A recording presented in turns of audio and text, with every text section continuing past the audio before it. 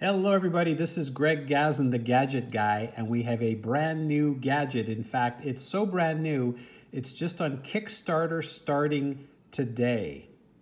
It is the Passport Pro 2 by a company called Zendure.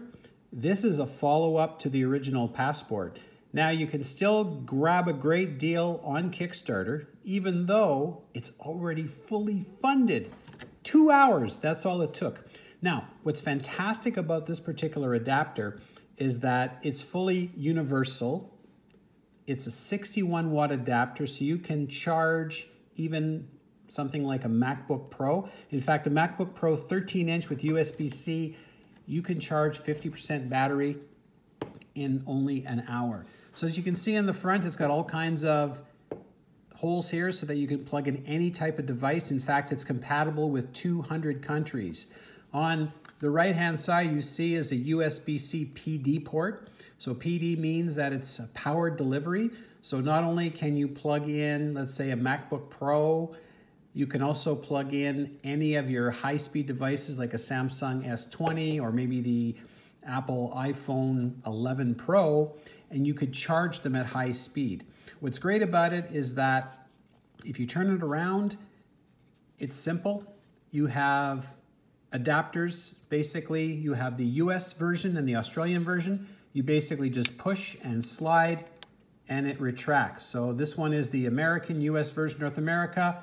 For Australia, all you'd need to do is turn, I guess you just turn it that way. You can slide it back in, turn the next one, slide it back, and you've got the UK adapter version, and then retract that, push it out, and then you've got the EU European. Now, on the bottom, it has USB ports. It has three USB-A ports, 12 watts, so that you can charge not only your iPhone, but also your iPad. And then it has also a single USB-C port, which is also 12 watts.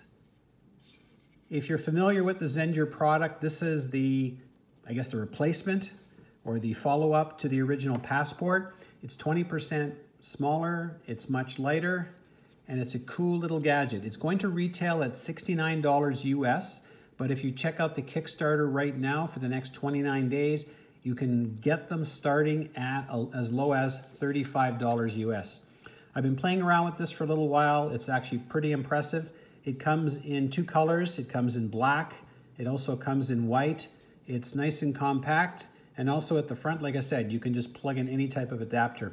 It's compatible It'll work in up to 200 different countries and it's compatible with a plethora of different plugins. So it's certainly worth checking it out. Z-E-N-D-U-R-E or Z-E-N-D-U-R-E. If you check out the show notes, we'll give you a link to the Kickstarter. This is Greg Gazin. Till the next time.